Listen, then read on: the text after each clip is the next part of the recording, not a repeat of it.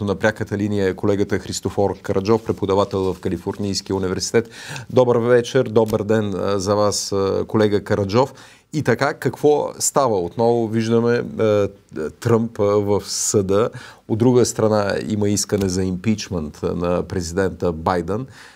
И двете ли са нефелни, както някой би ги нарекал, процедури? Ами, Тръмп има доста проблеми с а, а, юридическата а, система, така че от а, всичките в момента мисля, че има 6 активни дела а, срещу него, включително и това последното в Нью Йорк, което е за 250 милиона долара, които а, а, той а, дължи според прокурора на Нью Йорк Летиша Джеймс.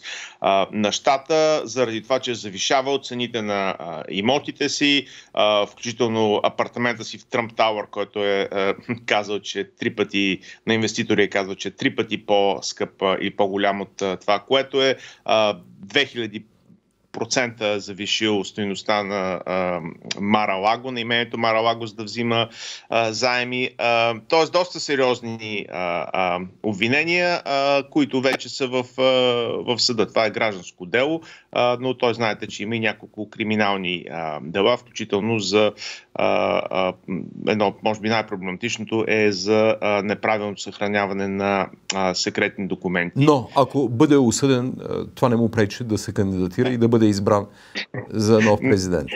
Любимия въпрос от последната една година. Е, трябва да го кажем. От, отново отговаряме. Да, няма в Американската конституция ограничение за това дали кандидат-президентът или президентът всъщност има, може да бъде съден или дори да бъде в затвор. Тимати Сега... Гарден Еш написа една много интересна статия в Guardian по отношение на това, кой би бил най-вероятният следващ президент на Съединените щати. Съгласен ли сте с него? Има а, доста брожения сред а, самите демократи, свързани с възрастта на, а, на Джо Байден. А, но за сега Джо Байден е кандидатът. А, а, няколко а, интересни губернаторите на, на Пенсилвания, а, бившата губернаторка на а, Мичиган Гречен Уитмар е много интересен потенциален кандидат. Проблема е, че те са, те са, те са млади, нахъсани, много талантливи а, политици в демократическия спектър, но просто не са познати за разлика от а, а, Байден. А, Камала Харис, която а, би била логичен, логичен да, вице, вице-президентката Камала Харис, която би била логичен избор, а, не се ползва с а, особено голяма а, популярност, а, затова тя не е много а, вероятен. А, Има ли вариант. опасност а, да, да отслабне помощта на Съединените щати за Украина, защото сега видяхме, че един крайно консервативен републикански консерватор иска оставката на Маккарти.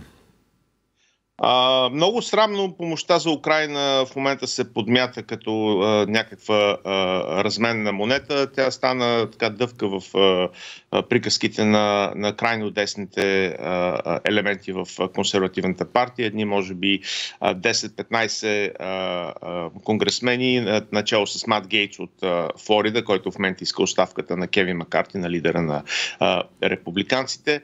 А, помощта за Украина е всъщност много, много малък процент от, и от държавния бюджет, и от брутния вътрешен процент, продукт. Мисля, че по- по-малко от 30% от брутния вътрешен продукт, 1% от държавните разходи, 5% чисто от военните разходи. Тоест много, много малка като, като нещо, което би помогнало с някакви други економически проблеми, но точно като дъвка се, дъвче размята, като опорна гледна точка а, го виждам а, и а, мен лично това много ме а, така, а, наскърбява, защото пък а, а, знаем колко много Украина зависи от а, подкрепата на западните съюзници, а, включително и на Съединените а, щати. Така че има, има такава. Но президент, но президент Байден каза, че помощта, отношението на Съединените щати на Америка към Украина няма да бъде променено. Дори и сега тези традиционни бюджетни спорове опозиция власт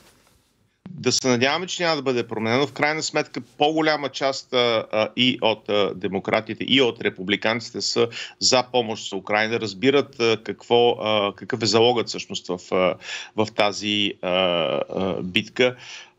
И, и какъв е залога на, за подкрепата а, за а, Украина, но а, просто а, политическата реалност в САЩ с едно много тънко мнозинство, 221 на 212 републиканци към демократи, а, нестабилен а, лидер на републиканците, който се страхува за позицията си а, и буквално няколко души са способни да а, използват Украина като лост за техните собствени политически амбиции, което е много прискърбно и много безотговорно.